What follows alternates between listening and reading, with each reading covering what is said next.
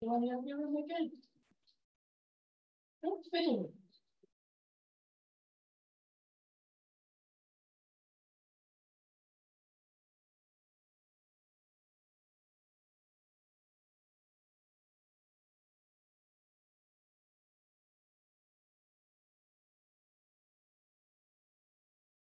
Okay, everybody, welcome. Uh, I think we're going to get started. Thanks to Yossi for hosting. He's really uh, punishing himself by being in Switzerland now um, in very, very difficult weather, cool weather. May even be skiing for all I know. So, Yossi, I'm not, I don't want to say we're jealous just because it's 97 degrees here 34 degrees. Well, don't let that bother you. Thank you for hosting and welcome to everybody.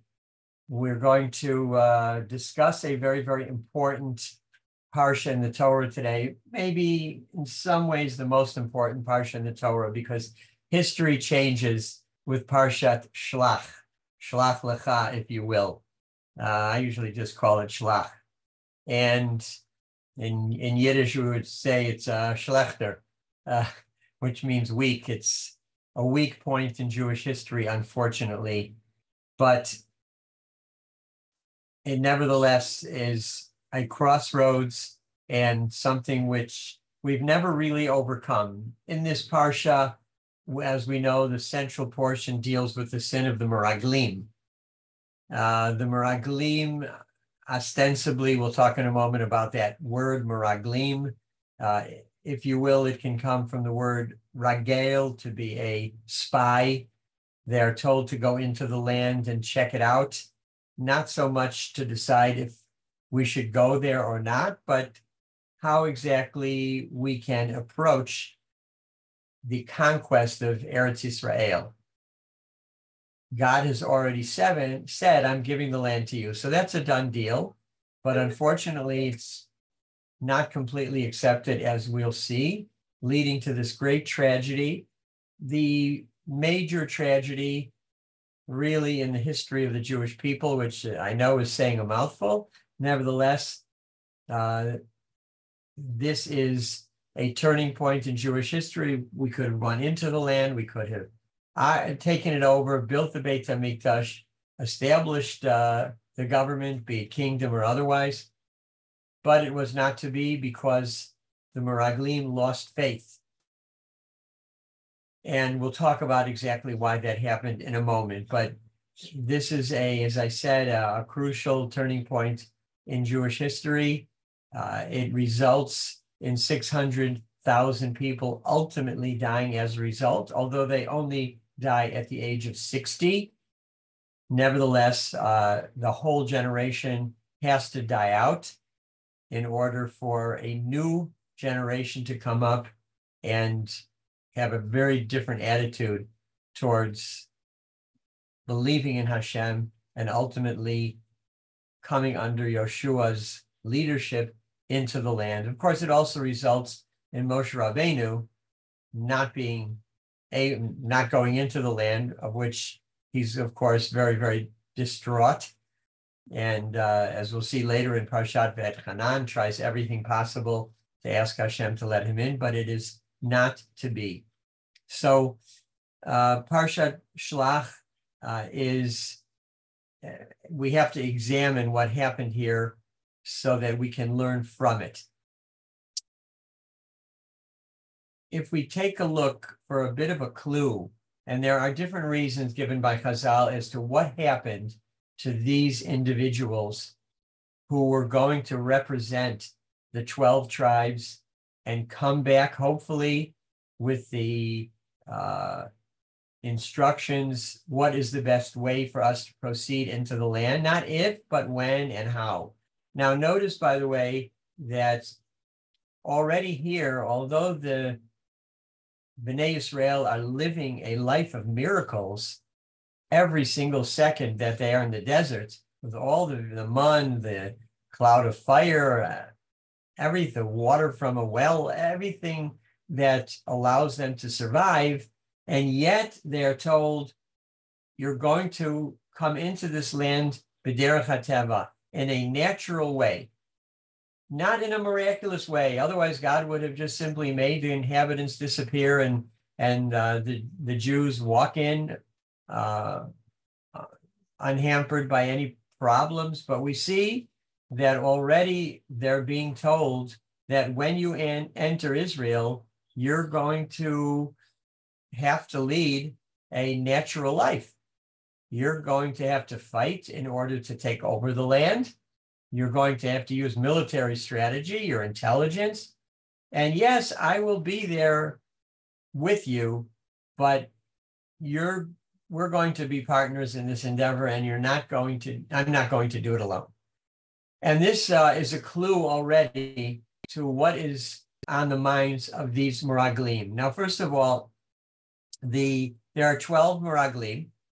Uh, 10 of them are going to deliver this negative conclusion that we cannot go in and conquer the land, even though God said he will be with us and we will do it. Only Kalev and Yoshua will be the odd men out. The other 10 are going to be this, what the Torah calls a dahara'ah, this evil congregation. By the way, it is from here that we learn that a minyan is made up of 10 people. We learned it from the 10 spies. When I ask this question, sometimes everybody says, and I say, where do we learn it? They answer, well, we learn that because when Abraham argues for Sodom, he stops when there isn't even, there aren't even 10 people. Well, that's not where we learned it from. We actually learned it from here. I don't want to make any comments about why we're talking about an evil congregation. As a former rabbi of a congregation, there are many jokes about that. But in any case, the number 10 is learned from here for a minyan. All right, so what happened to these people? They are the creme de la creme. Um, these are the not military or even necessarily uh, social leaders. These are the spiritual leaders, we are told. What happens to them? Kalev and Yoshua are not even at the top of the list. They're numbers three and five, respectively. And um, there are others who are better than them. And there's a whole discussion about when these people went bad. And the Gemara at some point wants to first wants to say they always had the intent to give a negative report about living in Israel and entering Israel. Others say no, they were good at first, and then they later on, under pressure from the rank and file, the, the people, the populace, that's when they turn bad. It's not clear. But I want to, to notice something. Uh, we're already see, seeing a clue right at the beginning of the parsha. And listen to the words. So Hashem says to Moshe, Shalach lecha anashim v'yaturad eretz Canaan, you know, send out men and tour the land of Canaan, asher ani Israel, which I am giving to the Jewish people. Ish echad, ish echad, one man, one man, lematei avotav tishlachu, representing the tribes, send them, kol nasi bahem, everyone is a prince. The next pasuk says, Moshe sends them out, kulam anashim, rashay b'nei Israel hema, all men, the heads of the Jewish people. And later on, after we list the names, Eila Shmota Anashim, these are the names of, of the people, of the Anashim that were sent. And when you look at this in total, you see something that really the Torah is trying to hit us over the head in telling us about the greatness of these people. I mean, look at all the terms we use. First of all, Anashim. Whenever it says Ish, Ish is a very positive terminology. A man, you are a man among men. Um, that stands alone. And then we say Ish echad, Ish echad. Everyone was singular. That is, there were no schleppers here. Every single one was echad, was unique and was uh, one of a kind in a sense. Kol Nasibahem. They were all princes. And then why does the Torah have to repeat the same thing in the next pasuk? Kulam anashim. This is not a sexist issue, all men and no women. It's not saying that. They're not going to send women out on a, on a spying mission, uh, which is quite dangerous. So Anashim again, meaning the top-notch people, Rashi B'nai Israel they were the heads. Well, and again, um, saying it at, at, the end as well. So five, six, seven times we're telling you how great they are. Now, what? Why does the Torah? It's not doing this unless it's sending us a message, and one message could be emphasizing that these are great people, yes, but um, methinks the Torah doth compliment too much. It's over and above. May Me'alu me'ever. No, there's something else that the Torah is hinting at here. And that is a clue to why they decided they were going to give a negative appraisal of Israel. And the reasoning that Chazal learned from here, from this overuse of stressing about their greatness, was telling us that it's their greatness that brought them down. They thought to themselves, here in the desert, we are leading a phenomenal life. I mean, think about it.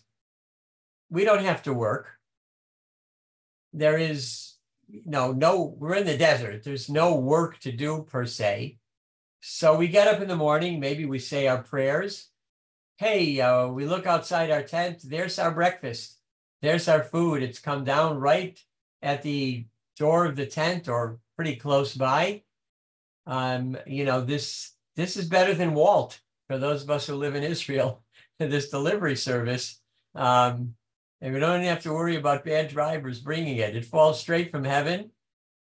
Um, we are protected at night. We have the fire keeps us warm, protects us. We have the cloud during the day, so it shields out all the bad rays, and we're very comfortable. Uh, our clothes, we're told, the cl- clothes grew with them.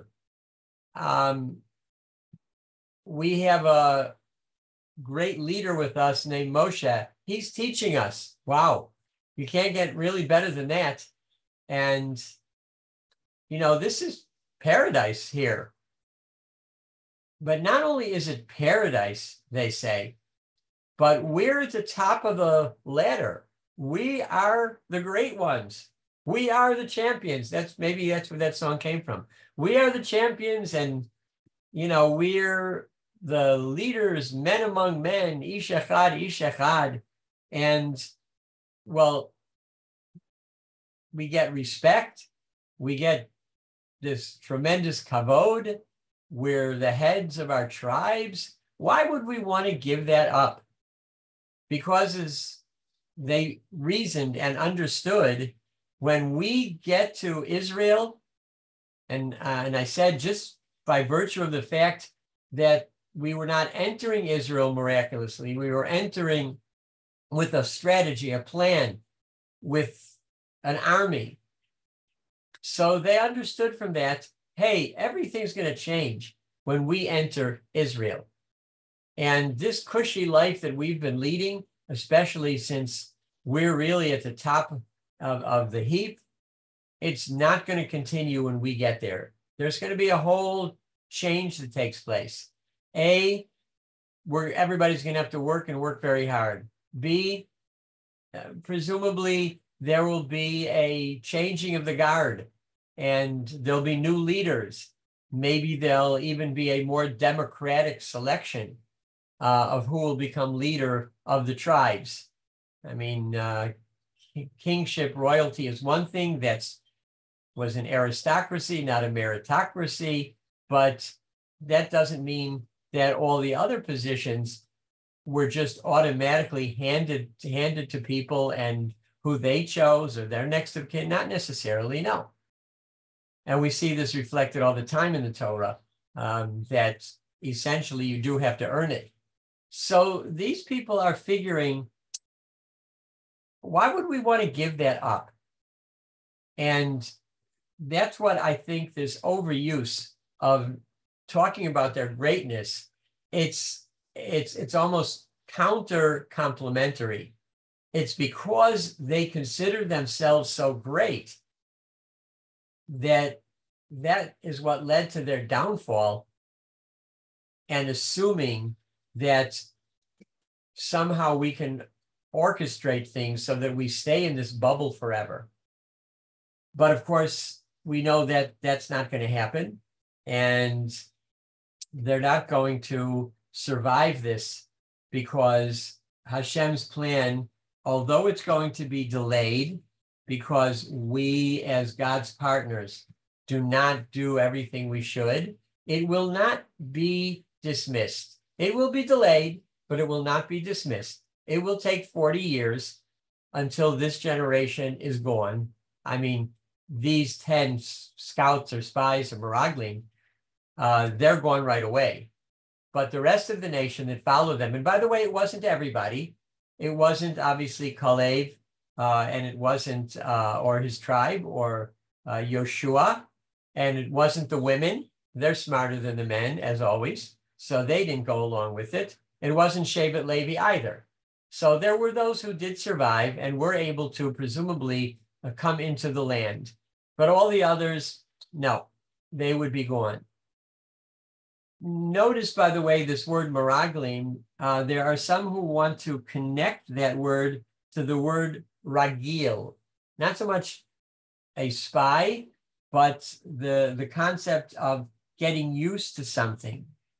And, you know, the, the, the terminology we use it for today, um, ragil, and um, they were too used to having this. Uh, um, hold on one second.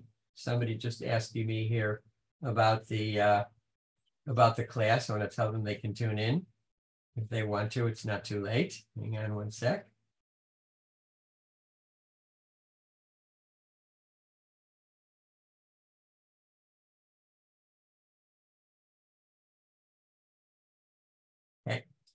So they were just, they just got used to it. And it was something that, you know, after you get used to a certain uh, state and position of luxury, you don't really want to give it up. But a lot of that was based upon their own personal ego, the sense of, I like being where I'm at. I like being able to tell others what to do. And I know that when we come into a new land, there's going to be new leadership, and that's not something we want to be a part of. Um, I, I, think I've talked about this before, but um, I'll mention it again for those who want to pick up on it just, just for a moment. Um, there's this great Twilight Zone episode called, you can Google it. Uh, it's called On Thursday We Leave for Home. Um, and I think you can get it on the internet. Uh, it stars James Whitmore, who is a great actor. Again, on Thursday, we leave for home. And uh, just shortly to tell you, it's about um, a colony of Earth people that go to a new planet and they're going to colonize the planet. But it's a very harsh uh, existence there. It's a planet that has two suns, very difficult uh, you know, to do any kind of work in the daytime. Um, and a whole generation grows up there uh, that was not born on Earth. Uh, but James Whitmore, who is the, the leader of the group, he tells them how wonderful things are on Earth, where you have a more moderate temperature, maybe not what we're experiencing in Israel today, but a moderate temperature with one sun, a change of seasons. There's even snow uh, and and and chilly weather, and the children are just absolutely uh, enthralled to hear about this. And he even tells them that uh, on Earth in America there is a game called baseball and uh, he tells all about how it's played. And he says someday, um, you know, we'll go back to that wonderful, fantastic country uh, and planet And the years go by, and then a message comes that the colony has not really been successful, and they're sending a spaceship to take everybody back to Earth. And uh, people are so excited. The children are very excited.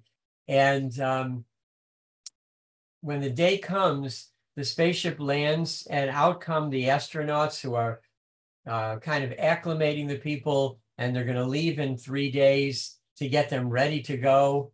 And they decide to, um, uh, the children say, We hear that there is a game called baseball. And the astronauts say, Yes, we even brought some some equipment, some balls and bats and gloves. And uh, James Whitmore uh, says, No, you can't play. It's too hot. You'll be exhausted. You'll get heat stroke. And the astronauts say, Don't worry, we'll take care of them. And he tries to prevent them, uh, but they don't listen to him. And a couple of other things happen where, again, they just kind of dismiss him. Well, when the time comes to leave and they start boarding the ship, so everybody is on board except um, the leader, James Whitmore, and they can't find him.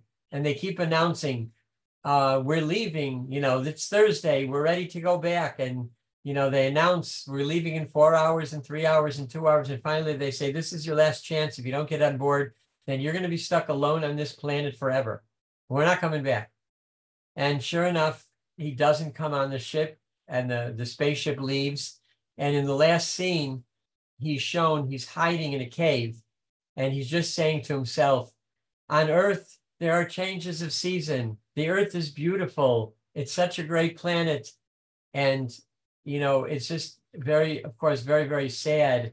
Uh, but the, the point of the story, of course, is that he did not want to give up his role of leadership.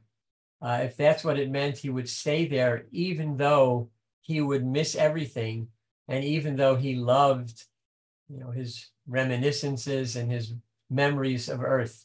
Well, with the Meraglim also, uh, of course, uh, they hadn't come from Israel, but they heard from their ancestors, of course, passed down from Abraham, Yitzchak, and Yaakov, how wonderful Israel is.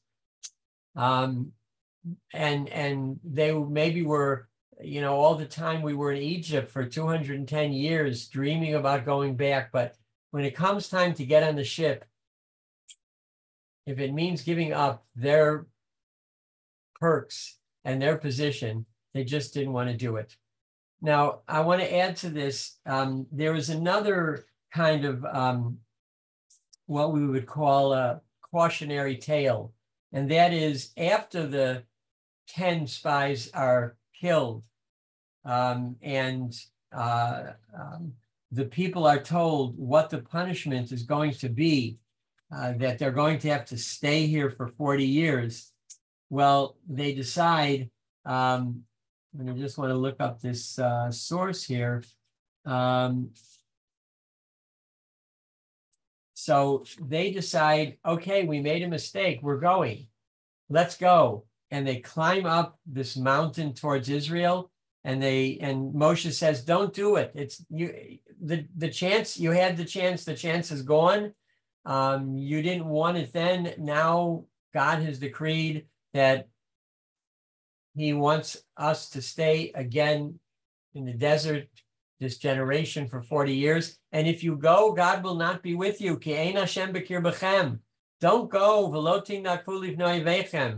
Um, it's not going to be successful. But you know, they're called the Ma'apilim. They are defiant, the defiant ones. It was a great movie. In any case, they decide they're going and they are slaughtered, unfortunately, by the Canaanim, the Amalekim, who are who see what's happening. They take advantage of the situation and they slaughter these people. This is later to be known, this place as the Valley of the Dry Bones, when Yechezkel says, Will these bones rise again? These people who said we're going to kind of push the envelope and come anyway, even though it was not with God's blessing. And um, it's also very sad for people uh, who have the chance but miss out on it and they don't take advantage of the opportunity. And when they finally get the message and they finally realize this is what sh- we should be doing, it's too late for them. Um, and of course, for us, this is very, very reminiscent of what happened during the Shoah, when there were such desperate attempts uh, by emissaries from Israel to get the Jews out of Europe um, and get them uh, somehow to Israel, maybe because of the, the British blockading uh, the waters through the white because of the white paper, the infamous white paper of 1939. Maybe they, you know, would have to go first uh, to Cyprus or they'd have to sneak in, but they would at least be be alive. And um, unfortunately, only a very small, tiny percentage of the people listened and came. And by the time they realized that we need to get out of here, it was too late. And by that time, there was just um, no no way they could they could they could get there and no way they could get out. The the gates had come down, the walls had been put up, the ghettos had been created, and it was almost impossible to get out of Europe. So um, it's kind of a, a, a of a double um, symbolism and a double whammy here. First, that you know they don't listen and have faith and say, if God told us that we can make it in Israel, we can make it, and we don't have to. We can't question God. It was never our place to make a decision if we should go or not. The decision was made how to go and what's the best strategy for coming into the land. It wasn't, we overstepped our boundaries. And that was the first tragedy. And then when others, uh, several thousand from the population said, all right, we made a mistake. We shouldn't have followed them, but now we want to correct it. It doesn't always work that way. Um, and although tshuva is always possible, um, nevertheless, there are situations when the train has left the station, you, you simply can't get on it. And so it's a it's a very, in a sense, tragic parsha. But I'll close with the fact that in the same parsha we talk about certain things like challah, the taking of challah, which a portion is given to the kohanim, and we talk about the the offerings, especially the libations. Um, that the the the wine uh, as an oil uh, yain lanesach, you know, to be used for sacramental purposes. So that's put into this parsha. That's God's way of saying eventually the nation of Israel uh, is going to get to Israel. Okay, it's this generation may die out, most of it, but ultimately, the nation as a nation will enter Israel. You will build the Beit HaMikdash. You will accomplish all the things that says Hashem that I, I said you were going to accomplish, and you'll be able to bring these offerings. It's maybe almost, you know, uh, kind of cruel to tell the people who are now stuck in the desert to tell them that these things will happen, but they won't be there. But it's God's way of assuring and reassuring the nation that Am Yisrael is eternal. Um, it's going to pursue its history, and it may take a long time because we don't always jump on the train. Maybe for 2,000 years we waited to jump on the train. And then even when Herzl came along, there were people who wouldn't get on the train and still won't get on the train. But the train is going to end up where Hashem says it will and it's going to continue on its path. And those who are smart enough and faithful enough and loyal enough, they're going to be on that train. It didn't happen for a lot of the people and in this parsha, uh, and certainly for the 10 spies who went against Hashem, but it has in our generation, we have boarded that train again and we are headed even though it's a dangerous route and we're going through a lot of dangerous territory, nevertheless, that train will continue until we get to where we're going because Hashem promises so. And Am Yisrael, uh, lo, um, lo yishaker, Netzach Yisrael, lo yishaker. the eternity of the Jewish people and of Israel can never be false. So a lot to digest here and um, something to think about because this is a very, very relevant parsha to what's going on in the world today. And I'll let you draw your own conclusions. Uh, there are a lot of uh, things we can say about it. So uh, I thank you for tuning in. I hope that uh, we'll hear, start to hear good news every day. Uh, unfortunately, another uh, soldier who we lost today, and all we can do is pray to Hashem that we are going ultimately to to go in the right direction, and Hashem is going to release, help to release, help us to release the hostages, and of course that our soldiers will be safe and the wounded will heal. משבח רבותינו אברהם יצחק ויעקב, הוא יברך את חיילי צבא הגנה לישראל, העומדים על משמר ארצנו והרי אלוהינו מגבול הלבנון ועד מדמר מצרים, ומן הים הגדול עד לבוא הערבה ביבשה, באוויר ובים. ייתן אדוני תבינו קמים עלינו ניגפים לפניהם. Hakadosh Baruch Hu Yishmor v'Yatzilut Chayleinu Mikol Tzara v'Tukal Mikol Negel Machala Yishlach Bracha v'Tzlachal B'Chol Maasei Dehem Yad Birson Einu Tachtehem V'Yatrein B'Chet Yeshua V'Vater Nitzachon V'Kuyam B'Hem HaKatuv K'Adonai Lo'echem Oleichem Lechem Lilachem Lechem Imoy Bechem Loshietchem V'Nomar Amen Thank you all. Shabbat Shalom. B'Sorot Tovot.